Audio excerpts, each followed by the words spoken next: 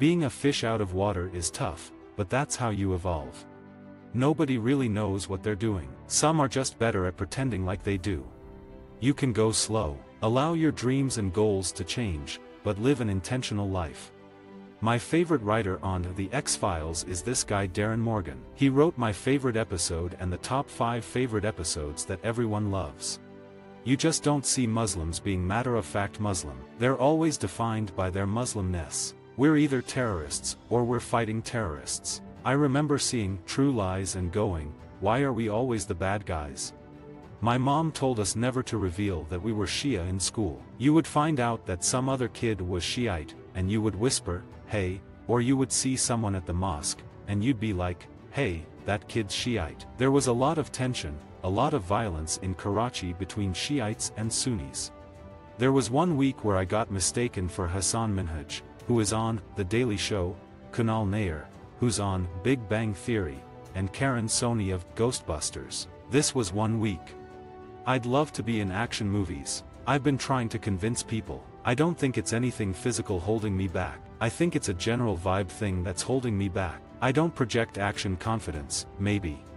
I remember my jaw would hurt because I wasn't used to speaking English all the time. Like how, even if you exercise, you'll play kickball one day, and then you're like, wait, I run but new places are hurting because I don't use my muscles this way. My mouth was not used to making these sounds.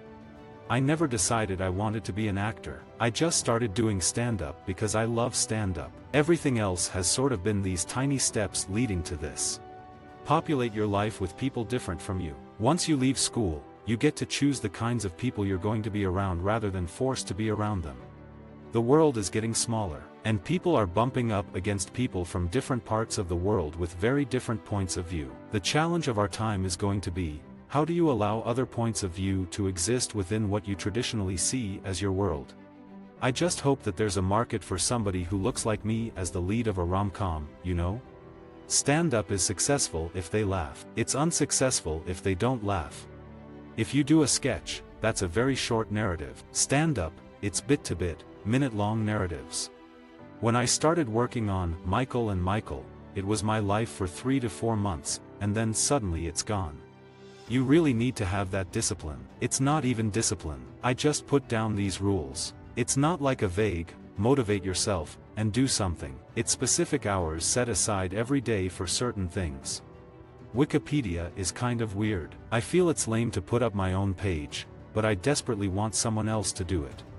You can get stuck in the trap of reading your YouTube comments all the time. Sometimes I regret it. Not everyone is going to love you. And for some reason, stand-up has this thing where everyone thinks they can do it. So everyone thinks they're an expert.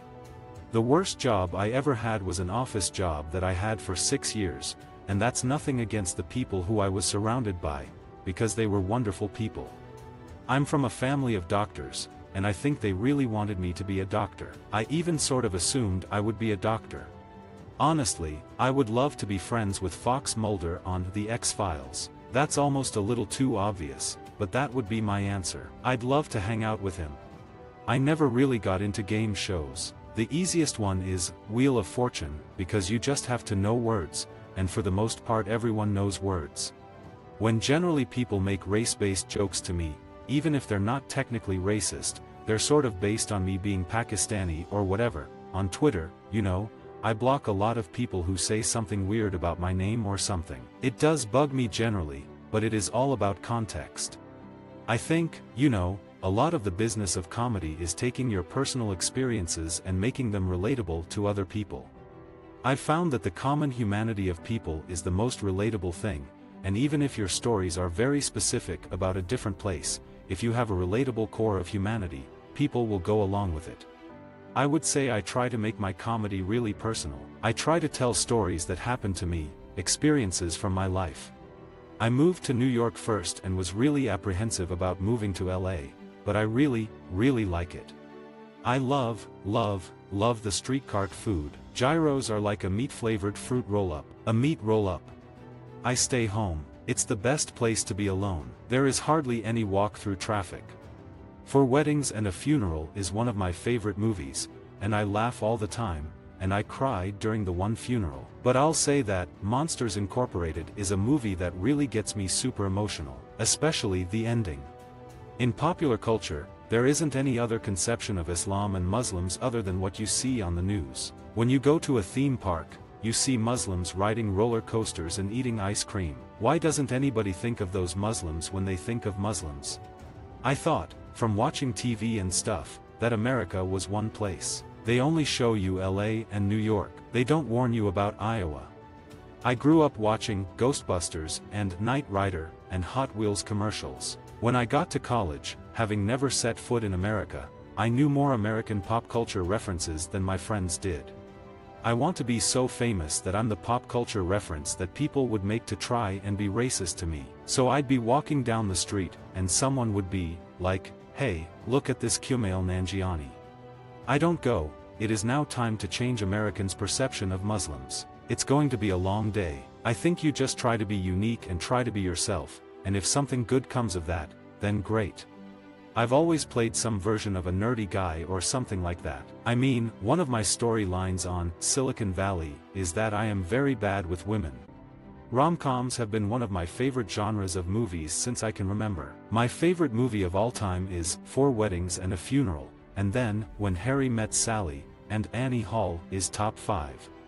I'm a massive rom-com head, like, every rom-com in the 90s and early 2000s, I've watched.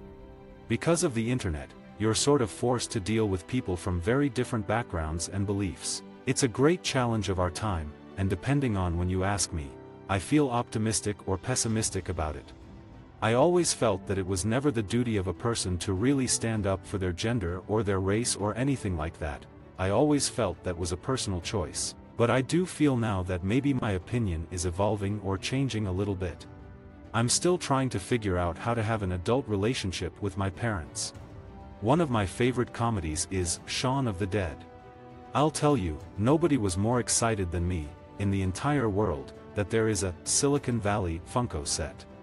I started a podcast about X-Files and ended up on it. Then I started a podcast about video games, and I'm in the new Mass Effect game. I have to pick the stuff I love and do a podcast on it.